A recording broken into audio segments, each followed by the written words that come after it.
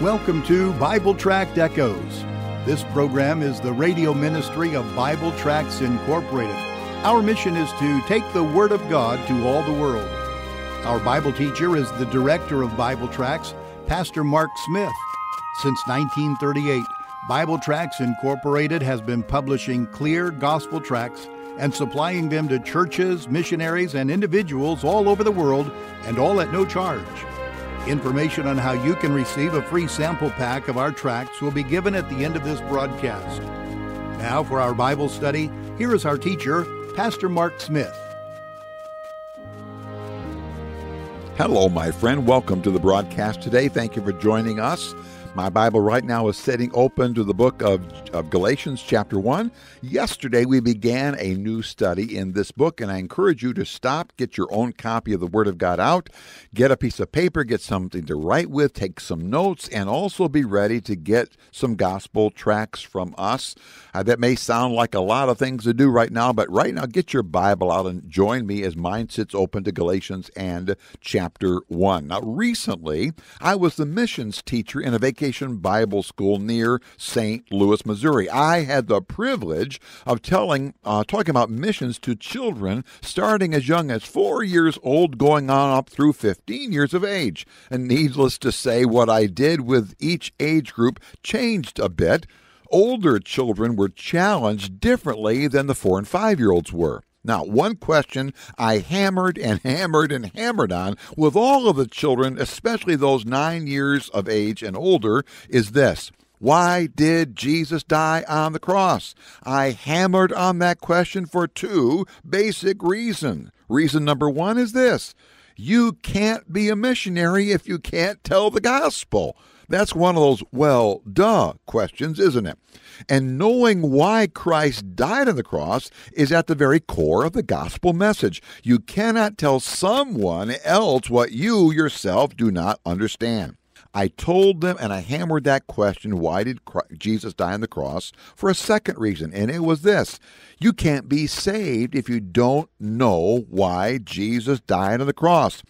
I believe a whole lot of good church kids can tell us the Easter story, but they really do not grasp the why of Calvary. We're going to get to that today, but you've turned into our Tuesday broadcast. This is our Tract and Truth Tuesday. We call it our Tract Day because we emphasize gospel tracts a little more, and our Truth Day because we want to emphasize the truth of how to communicate the gospel. If you and I are going to communicate the gospel, we've got to be able to explain the ransom of Jesus Christ on Calvary. We're going to find that Galatians chapter 1. You get your Bible open, please, right now. In my hand is one of our gospel tracts. This one's entitled When You Meet God. When you meet God. Friend, all of us will stand before God someday. Every single one of us.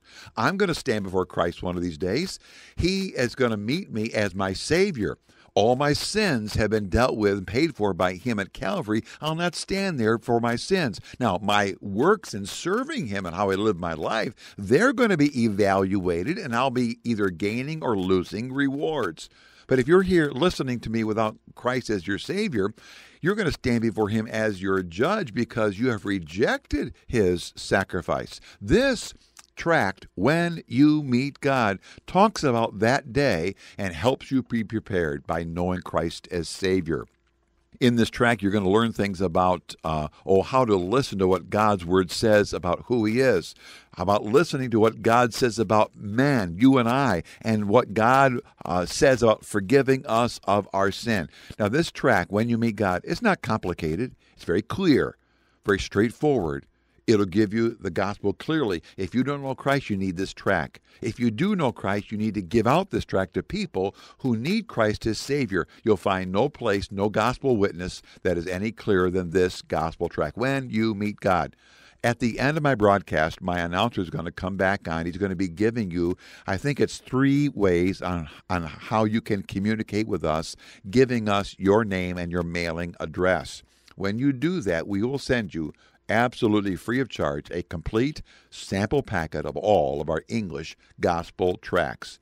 We send out tracts all over the world. We do this free of charge as God enables us. Many of God's people help us, and I'd encourage you to consider that if this gospel uh, program is a blessing to you, why not consider helping us? But by helping the radio program, you're really helping us get the gospel out by gospel tract. But please, today, communicate with us. Give let us give you this sample packet of gospel tracts, including this one, When You Meet God. Come with me, please. Galatians chapter 1. Look at verses 1 uh, through 4 anyway. Here's what it says. Paul, an apostle, not of men, neither by man, but by Jesus Christ, and God the Father, who raised him from the dead, and all the brethren which are with me unto the churches of Galatia. Grace be unto you, and peace from God the Father, and from our Lord Jesus Christ. Listen now, look at verse 4 who gave himself for our sins. I'm going to stop reading right there. Yesterday, we began, as I said, our study here in the book of Galatians. The first five verses introduce Jesus, but they don't introduce him to people who do not know Christ. They are reintroducing Jesus to people who know him as Savior. And we asked the question yesterday why do this? Well, as we're going to see as we go through this week, there were people telling another gospel. Look at verse 6. It says this I marvel that ye are so soon removed from him that called you unto the grace of Christ unto another gospel. Verse 7, I'll not read it, it tells us that some religious people were uh, out there perverting the gospel, twisting it. And this perversion was causing people to become confused and agitated. People that know Christ. They were hearing error and they were confused. They were not well grounded yet. Now, because they were there were false gospels out there, the true gospel needed to be told again and again and again. We are in a day in which many perversions of the gospel are being peddled all over the radio, all over the television, and in pulpits, and in seminars, and in seminaries. But let's answer the why question. Why did Jesus die on Calvary's cross? Again, look at verse 4. Who, speaking of Christ, gave himself gave himself, gave himself for our sins, that he might deliver us from this present evil world according to the will of the Father. In a nutshell, Jesus died to pay our sin penalty. Whenever we share the gospel with lost people, let us not get caught in the error that people are saved by means of the love of Jesus. Friend, listen. His love, God's love for us is a great truth, a marvelous truth. Don't lose that truth. His love moved Jesus to become a missionary from heaven's glory to the sinful place called earth. He has loved us, Jeremiah says, with an everlasting love, but his love does not save us. His love moved him to perform a saving act the Calvary's cross. Jesus gave himself for our sin. That word for in, in verse 4 there means instead of. Christ gave himself for, instead of, in place of, as a substitute, in behalf of our sins. This week I'm using some words that begin with the letter R to help unlock the what is taught in the opening five verses. Yesterday we talked about the resurrection. Today my R word is the word ransom. But to explain the ransom, I'm going to use some words that begin with the letter S. Are you ready? First of all, the ransom of Christ was a self act. The verse says, He gave Himself. Jesus Christ did not die as a martyr. His life was not taken from Him. It was no mistaken activity that He went to Calvary. He came to give Himself a ransom for many. The Gospel of Mark, chapter 10, says, It was not a fluke. He came with a purpose to die for our sin. So, my first S word is it's a self act. Second word is this it's a sacrifice act a sacrifice act. Again, verse 4 says, He gave Himself. When you read the account of the cross death of Jesus, you will see that His death was an awful act. It was a horrific act, it was a brutal act but he died as a sacrifice. It was a dying act. Christ died. He died on the cross. My third word that begins with the letter S is the word sin. So far, we've seen that his death was a self act, a sacrificed act, and now a sin act. By that, I do not mean that Jesus himself was a sinner. What I mean is that Jesus died to pay for sin. Sin is our problem, not his. Sin separates us from God. The book of Ephesians says we're enemies of God. Sin makes us uh, out on the outs with God. We have to be what the, the book of First Corinthians, excuse me, the book of Second Corinthians says, reconciled to God. God does not need to be reconciled to us. We, because we have sinned, need to be reconciled to God. Sin separates us from God, makes us enemies of God.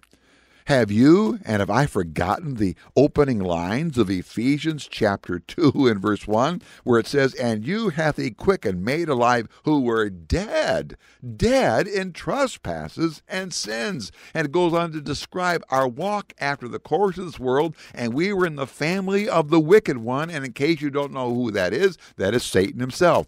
There are two families to belong in in this world spiritually. You belong to the family of God or you belong to the family of Satan. You are one or the other. There pardon the phrase, there ain't no middle ground, my friend. You belong to one or the other. I'm turning over my Bible right now to the third chapter of the book of Galatians, Galatians chapter 3, and look at verse 13. Here is what it says Christ hath redeemed us from the curse of the law, being made a curse for us on our behalf. He died to pay for the sin curse on us. Oh, let me give you one more word that begins with the letter S. I've talked about the fact that Christ died as a self act, a sacrifice act, and a sin act. But notice also here, I'm going to use the word slave act. Jesus died to deliver us from slavery to sin as a lifestyle. He died to free us from the penalty of sin, glory to God, but He also died to free us from the hold of sin on our life. We do not have to live under the thumb, under the power of our old nature and this sinful, wicked, well, what Galatians 1 and verse 4 is going to talk about this evil world. You know what the word evil means? Well, you stay tuned. Tomorrow I'm going to talk about that. What in the world is it when the Bible, when God calls this world evil, what does he mean by that? It's a pretty important truth. Friend, today here on Tract and Truth Tuesday, we've talked about the fact that Christ died as our ransom. You've got to be able to explain that. Christ died for a reason. He was dying to pay a penalty, a sin penalty, but not his sin penalty, your sin penalty. But that sin penalty only becomes effective for people on an individual basis when individuals do what John 1:12 says. But as many as received him, to them, to those that receive him, gave he the, the power, the right to become the children of God. You are either in the family of Satan or the family of Christ. You transfer family ownership by virtue of receiving Christ as Savior. He died on the cross to pay your sin debt so that you, through him, might be saved. Dear friend, have you done that? If you haven't, you ought to stop right now. I mean, right now. Turn the radio off, cry out to God, and say, God, Christ died for me on the cross. That's what the Bible says. Forgive me of my sins. Save my soul because Christ died for me. You do that and he will abundantly pardon. Amen.